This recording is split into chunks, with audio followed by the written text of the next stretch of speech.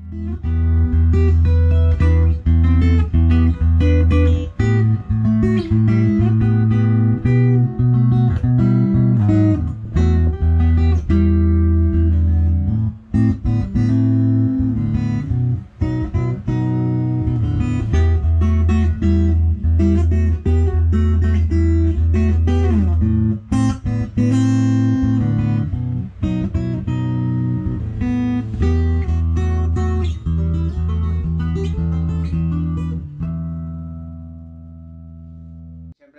namin kayo. Tagal namin hindi nakapag-vlog. Ah, eto worth worth it naman to i-vlog kasi meron tayong special na panauhin o bisita. Ah, si Sir Ian Veneracion. Yay! Ayun, oh. Ayun. At saka special talaga to kasi ako magtatanong sa kanya. Ako mag-interview sa kanya. What's your favorite color? Blue? Slam book. Yun. Ah, medyo na nervous tayo kasi syempre ah, celebrity itong nagpagawa sa atin. Ah, ganun bakit? Anong ano nun? Siyempre sir, idol, idol, idol ka namin eh. Ano Grabe naman. Oh, um, etong gitara na to, Ah, ginawa namin talaga para. Si Baby. Oh, si Baby daw. Tingnan niyo naman. Ah, tingnan niyo naman. Ah, ay, nako, ano ba yan? Tapos, ito. Ipapakita natin na. Itong nasa fretboard. Yan po, ito. Yung tattoo ko. Yan. Yung... Oh! Tato ni sir. Yan. Tapos, oh, sige, describe mo pa. Ikaw na Anong sir, pinagagagawa mas mo mag-aaral dito? sir pag ikaw eh. Ito, ito, ito, ito. Ay, nako naman. Tingnan mo na, kahoy. Di ba? Oh. Sir, binili namin yan nung nandun kayo yung show nyo sa US eh. Oh, nung nam. Yes, Doon nung ka nam. bumili ng kahoy. Tsaka, solid yung ano, yung top niya. Tsaka lahat, di ba? Yes, all solid Hindi yan. siya yung normally kasi, di ba, ply. Yes, fly. Ginagamit. Karamihan sir, fly. Etong sa'yo is solid talaga yung top, sa back and side. Tsaka yun, nakikita po yan. Diyan! Yun, no? Ay, nako naman. Um, Baby. okay lang. Sorry. Hindi naman, okay yun. Um, Ano kahoy itong ginamit natin dito sa neck? yan sa roasted bird's eye na quarter saw. Yun. Then dito, flame maple. Mm. Andun pa yung mga bassista niya tsaka gitarista niya sa NAM nung, nung binili Mm. ko eh. Mm. So, alam natin na premium talaga yung kahoy dahil syempre nagtitinda sa hindi naman magbi- magdadala doon magdi-display ng mga seconds nila. So, Oo. yung mga first choice talaga. Kaya doon tayo kumuha ng kahoy, ano? Yes, oo. At ito, dinesign natin to. Sa hili natin to, di ba? Itong picture. Yes sir, sa'yo yan talaga. Then, eto sir, gusto kasi sir, ni Sir Ian noon sa bridge niya, medyo, yung, I mean, yung tailpiece, yung basic lang. Eh, ginawan ko talaga siya ng iisa Yeah. lang. So, iisa lang to talaga sa buong mundo. Yan ang Lahat. Yan. Then, meron siyang acoustic. Then, electric na LED din to yung, yung pickup. Ito yung ah, magnetic niya. So, meron siyang electric and acoustic sound na dalawa. Bali, choice Demo, demo, demo, demo, demo, Yan, demo, yan, demo, yan. demo, Demo, demo. Acoustic, acoustic muna. Yan. Mm. Acoustic muna. Ayan, yan o. Uy! Pikit ka, pikit ka. Acoustic, oh. Ay! Anong, anong gitara yun? Acoustic. Tapos electric, electric.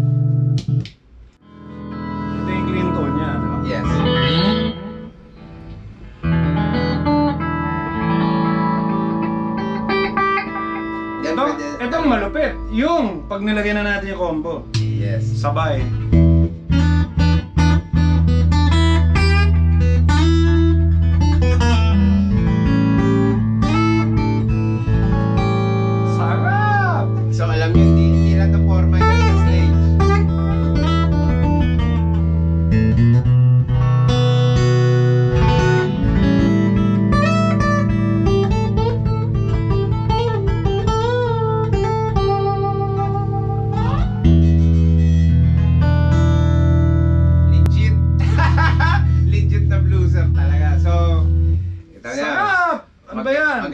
Mag-gitara. Oh. Ang sarap! Sarap. Sabi nga sa t-shirt ko, never underestimate an old man with a guitar.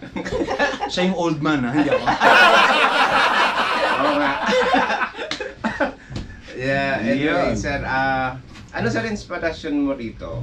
Ah, na, ano ba? Hindi, ako talaga, fan ako ng E ES335 um, kasi gusto ko yung, yun na, yung, uh, for example, BB King, tapos gamit dati ni Clapton, nung cream pa siya, uh, meron siyang pulang uh, 335, uh, hanggang ngayon nakikita natin yan, John Mayer, um, yan, Chuck Berry, yung mga lumang, you know, old school. Tapos gusto ko yung hangin, yung hangin ng konti eh. Yung may tunog siya na, yun nga, yung semi-hollow. Na hindi, na yun nga, iba-iba yung tunog ng Fender Strat. I mean, na-appreciate ko lahat yun, pero yung individual ano nila. Pero nung magpapa-customize nga ako sa'yo, sabi ko, kumamot ka nga ng ulo nung sinabi kong gusto ko E ES335. Yes, oo, kasi, oo, sinabi mo, Lucille. oo, oh, isa sa mga pinakamahirap yata sa para sa inyo gawin to eh, di ba? Yan sa, isa, isa yan sa pinakamahirap acoustic guitar and ito. So, di ba we spent may, may time nandito ako para pag-usapan natin anong kahoy gagamitin natin Yes, dito, ano yung center block natin, ano yung Mm. lahat. Nagulat ako sir kasi ano ka talaga spot on yung detail na gusto mo. So, sabi ko talaga, nagigitara pala talaga to. kasi nagulat ako sa specs na Na gusto ko. na gusto mo. So, parang me- meron kang alam at legit nga nung tumugtog. Hindi, Hindi, tsaka- hindi nasayang yung gitara. Hindi, da- sa kahilig ko, ta- eh, mahilig kasi ako sa gitara talaga. And pag bumabiyahe lagi, ayan, minsan buong araw ako nasa guitar center, tambay, subok na ng subok na ano ng gitara. Kaya, kunwari sa acoustic, alam na alam ko yung gusto ko. Um, for example, may certain, pag, ah, pag yung, shape, yung shape na sexy, ah, OM, Oo. gusto ko rosewood for that. Okay. Pero pag naka-dreadnought, Oo. masyado na ako naaanuhan sa rosewood. Mas gusto ko pag dread pag dreadnought yung shape, gusto ko mahogany. Oh, mahogany. Na-enjoy ko. So, uh, yun, sa mga Taylor series, uh, So, Guild, isa sa mga gitara gusto ko. Yung mga Guild, yung ganyan. Et, ito ginamit natin sir is ebony itong Fretboard. Tsaka naka-stainless tayo na Yes, frets. oh, stainless frets. Isa yan sir sa pinakamahirap din ibaon kaysa sa mga nickel kasi nag nag-spring back yan eh. Parang laswa ng pagkakasabi. Alin? Mahirap ibaon. Oo nga no. Fret, fretboard ang Oh, pinag-usapan. Bastos ko pala doon. Hindi, ikaw lang, pag ikaw lang ang nagsabi. Oo, sabagay. Oo. Kasi sir ano eh, parang ang bastos nga no. alas, alaswa pala niya. Oo. Kasi sir Ian wala yan, walang bakasyon ng bastos ah. Eh, tinuro nga sa amin yan sa motor eh. Oo. Kung ano dapat yung upuan. Ah, okay. Ayan. Nagulat ako, normal siya talaga. Pero pag napagbintangan, ito ang post ko agad. Yeah. Di ba? Kasi yun yung unang-unang role na natutunan ko dati nung bata ako, Santo Niño. Yun yung unang role ko talaga. Kaya hanggang ngayon yun, pag yung asawa ko. Lang yan. Saan galing? Automatic. Hindi ibig pa sabihin, sir, papel ko, demonyo. ikaw, ikaw si Poncho Pilato eh. Yung acting mo. Grabe kung siya sa niya, ano ko. Ano po. Ayun. Ah, anyway, sir. oh, hin- hindi ito ang huling gitara papagawa ko ah. Oo, sir. Una lang to ah. Salamat po. Sa maraming Salamat sir sa tiwala. Susunod natin baka Gusto ko sir level up pa ulit. Ayoko nung May ile-level up pa to? Meron pa sir. Yung ano, yung sa next, ibang gitara sir. pag Tele, Telecaster natin, siguro, oo, no? Pag-iisipan natin Or sir Strat. na um, Grabe. Grabe. Tingnan yung kahoy. Oh, oh! Ano ba ya? Grabe. ah, walang ano yan ha, walang Grabe. Special effects yan. Ah, live yan. Hanggang sa loob niya. Oo. Oo. oo. Um, papasalamat kami kay Sir Ian sa tiwala. Yun. Hindi, papasalamat ako. Hindi, tsaka alam nyo, um, yun nga, ang dami, ang- may siyempre, marami na ako nasubukan na gitara, marami, mahilig ako magtingin talaga ng mga gitara. Kung alam ko lang, ilang kilometro lang pala mula sa bahay ko, eh, meron kayang gumawa ng malupit na malupit Yun, na, na, yun nga, kung anong specs ang gusto at lahat, yung talagang custom. Solid. Iba, Sir. iba ka bro. Tama-tama sir, magnanam ulit. Mm. Bibili kami ng kahoy para sa ulit. Bibili mo ako ng January na naman. Solid naman, solid body. Yeah. Tele, kasi Mm. bluesman ka. Ayun. Tele. Ay, pero may acoustic na naman, dapat. Para hindi ka na naman magpalit. oo, dapat. oo, dapat may acoustic siya. Tsaka yung acoustic niya, yun alam no, y- sa acoustic maano maano ako. Kunwari si Oyus, yung gitarista natin, mm. si Oyus.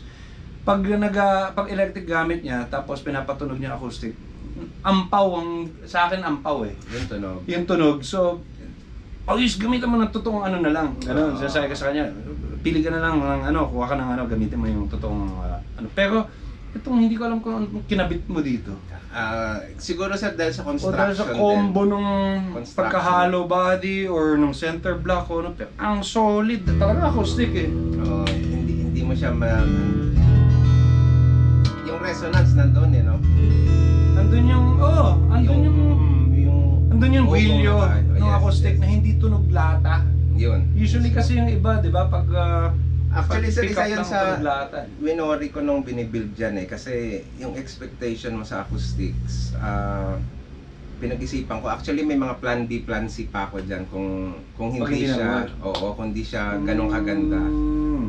eh buti na lang Kasi uh, ako naman, ang basehan ng hinahanap ko tunog sa acoustics, yun nga yung mga uh, Martin na D20. triple O, Oo. triple O na body, o kaya um, yung sa Taylor na meron silang Gun Pacific, sarap din ang tunog. O, kita So, niyo yan? classic Alam ni Sir yung model line. Ako, di ko nga alam. Yung Pacific.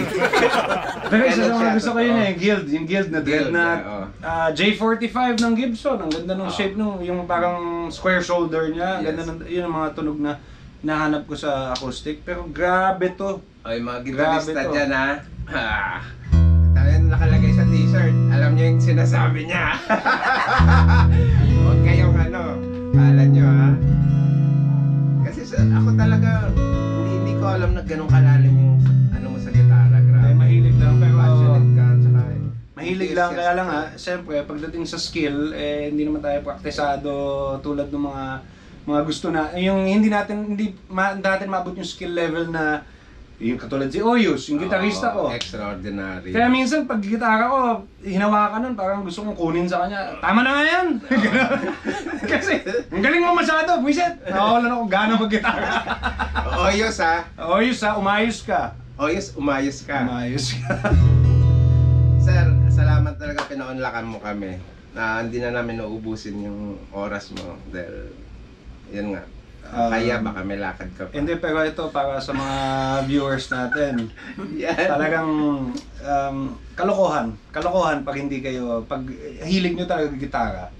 And yun na, yung custom and the highest quality of craftsmanship and eh, hindi lang craftsmanship eh. Alam mo, yung, yun siguro yung pagka-artist mo din. Yeah. Kasi minsan meron meron craftsman na hindi creative, pero ang ganda ng gawa at lahat. Pero meron naman iba napaka-creative na hindi naman ganun kapulido. Pero ikaw nakuha mo yung dalawang combo na perfect ano, perfect luthier talaga. Kaya salamat, salamat. Kaya malupit. Idol, idol.